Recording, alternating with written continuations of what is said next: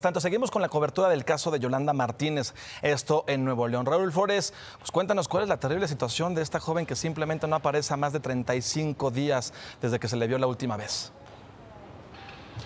¿Cómo está, Irán? Un gusto saludarte a ti y a todo el auditorio de Imagen Televisión. Hace un momento, don Gerardo Martínez llegó a esta Fiscalía del Estado de Nuevo León a presentar nuevas pruebas, dos pruebas contundentes. Una tiene que ver con algunas direcciones donde solicita un cateo y también el nombre de una persona con la cual se tiene que hacer una detención, así lo señala directamente porque, porque él dice que sus investigaciones están siendo más fructíferas que las que está realizando la propia Fiscalía. Pero ¿qué te parece si escuchamos y vemos lo que nos comenta Gerardo Martínez en torno a esta persona que tiene que ser detenida?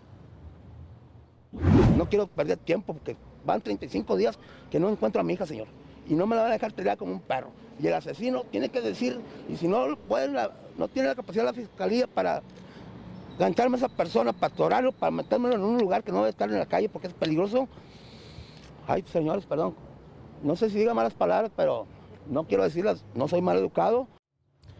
Hay que destacar que también el día de mañana tiene una cita con el gobernador de Nuevo León a las 5 de la tarde, pero también ya está analizando la propuesta de ir directamente a la Ciudad de México, sobre todo a hablar con el presidente de la República, Andrés Manuel López Obrador, para pedirle el apoyo para que llegue otro grupo especialista a buscar a Yolanda Martínez Cadena. Irán, lo que tenemos hasta el momento. Y es que no es para menos, mi querido Raúl, seguramente en la cabeza de este padre de familia ha de resonar todo el momento las palabras que dijo el papá de Devani, que se arrepentía de todo el tiempo que perdió con la Fiscalía del Estado, que se arrepentía de haberle hecho caso a la Fiscalía del Estado y ahora seguramente esas palabras resuenan en la cabeza del papá precisamente de Yolanda. Estaremos muy al pendiente. Gracias, mi querido Raúl.